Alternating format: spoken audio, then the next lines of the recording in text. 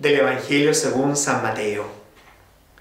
Cuando se marcharon los magos, el ángel del Señor se apareció en sueños a José y le dijo, levántate, coge al niño y a su madre y huye a Egipto.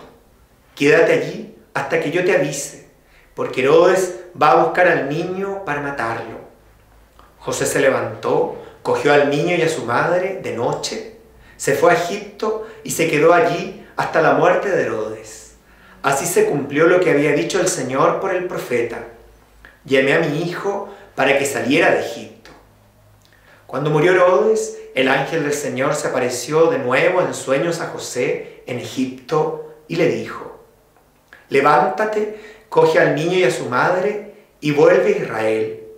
Ya han muerto los que atentaban contra la vida del niño. Se levantó, cogió al niño y a su madre y volvió a Israel. Pero al enterarse de que Arquelao reinaba en Judea como sucesor de su padre Herodes, tuvo miedo de ir allá. Y avisado en sueños, se retiró a Galilea y se estableció en un pueblo llamado Nazaret. Así se cumplió lo que dijeron los profetas. Se le llamaría Nazareno.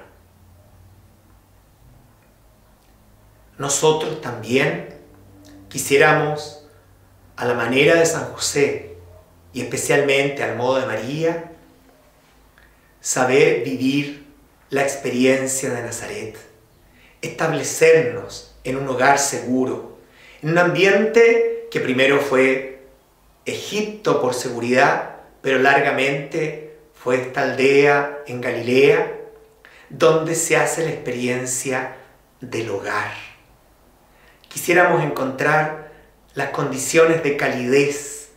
El primer hogar ha sido la matriz de nuestra madre, pero luego nos referimos a la matriz de la iglesia, que nos ha cobijado, que nos ha dado todo lo esencial, representando en la iglesia a la Virgen María, nosotros quisiéramos cultivar nuestros propios Nazaret, cultivar ese calor, esa seguridad, para que se manifieste también por muchos años ese clima de fe donde crecemos y luego podamos ser, al modo de María, un vientre, un Nazaret cálido para muchos más.